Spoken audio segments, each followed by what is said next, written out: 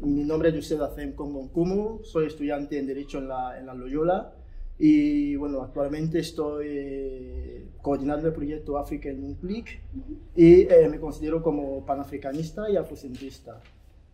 Bueno, África en un clic es un proyecto que nace para acercar un poco a África al mundo hispanohablante, ¿no? Eh, nos dimos cuenta de, de la carencia informativa que, eh, informativa que existía acerca del continente africano y decidimos junto a un, a un amigo eh, poner en marcha ese, ese proyecto. Bueno, el afrocentrismo es una corriente filosófica, política, que defiende que la cultura negra africana durante mucho tiempo ha estado como en el centro del poderío eh, cultural y económico, ¿no? Y el panafricanismo eh, defiende más bien la liberación de todos los pueblos africanos y de todos los pueblos negros.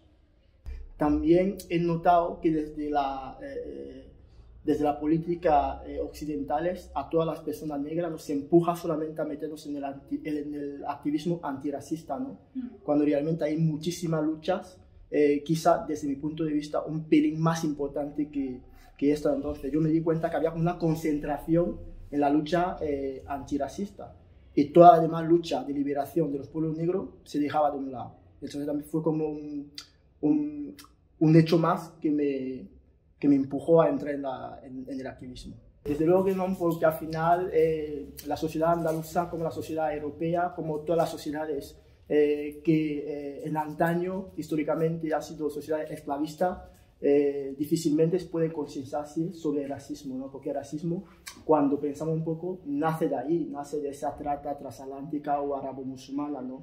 Entonces, difícilmente posible hablar de conciencialización, porque no lo hay, ¿no? y las políticas tampoco acompañan. Muchas veces también hablando de racismo nos centramos mucho en el macro-racismo, ¿no? y dejamos de un lado el micro-racismo, ¿no? ese racismo institucional, ese racismo administrativo, que mata más que ese macro-racismo, ¿no? Entonces yo creo que la sociedad andaluza como tal todavía no, no es consciente y no lo, no, no lo será si no hace, un, si no hace un, examen, un examen de conciencia. Hay muchas asociaciones que están luchando, que están trabajando para, para que se, se, se, visibilice ¿no? la, la, lucha negra, pues ahora mismo viene a lo mejor eh, la asociación, el MAT, el, el, Mundo de África trabajan y también asociaciones... Eh, como Don Bosco y tal, ¿no? Es cierto que hay acciones, pero están a pequeña escala, ¿no? Y no hay como una, una red que, que, que, conecta a todas esas, esas asociaciones. Y de hecho también ahí viene un poco el peligro cuando decía antes que dentro del antirracismo hay como mucha, muchas divisiones. Me gustaría dejar un poco una cosa clara respecto al racismo. Eh, me gustaría que cuando se dé ese tipo de entrevista, que no nos centremos solamente en el antirracismo o el racismo, ¿no? Porque hay muchísima lucha más importante. El racismo, sea antirracista, es importante, pero en el mundo negro no es la lucha más importante.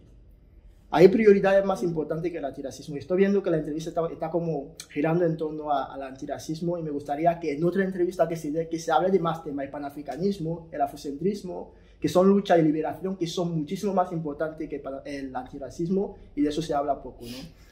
Y volviendo a la pregunta que me hacía tú antes, ¿no?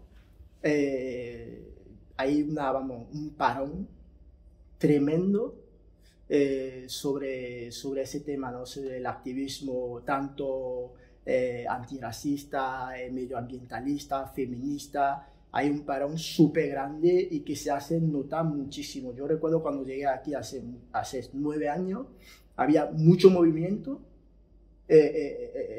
había mucha protesta, había muchísimas cosas que hacía, que se hacía y allá de hoy nada. Entonces sí que creo que hay como un parón y un retroceso, ¿no? Y eso se hace notar muchísimo, muchísimo. Y la juventud está muy parada y eso la verdad que es muy preocupante. Desde mi punto de vista, creo que la experiencia fue muy, bonita. No son cosas que se consigue en una sola sesión.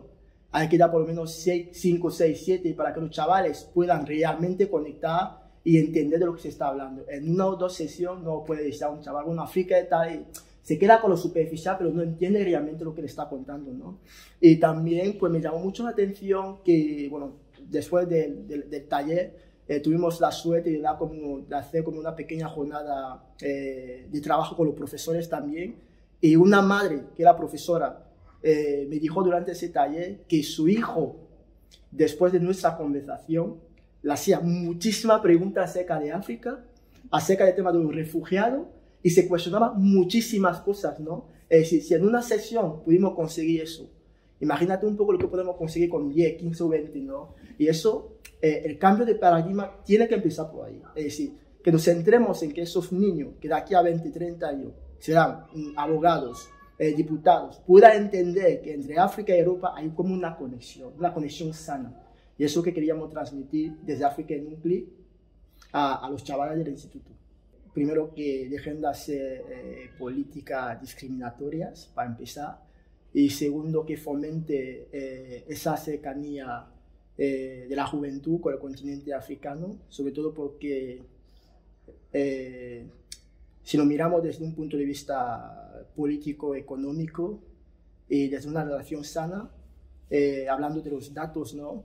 de aquí a 2050 África será el continente más poblado del mundo con una media de edad de entre 19 y 25 años, con una juventud súper formada. Y siendo un continente también riquísimo en materia prima, yo creo que nos beneficia a ambos que conozcamos nuestra historia, para que cuando llegue ese momento haya una relación sana entre nosotros.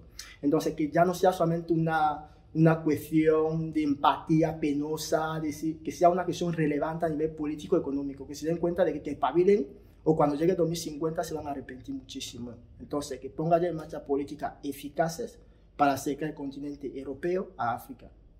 Y como última cosa, que tenéis que seguir África en un clic, porque ahí hablamos muy bien de África y, y os podéis enterar de muchas cosas, chavales y chavalas.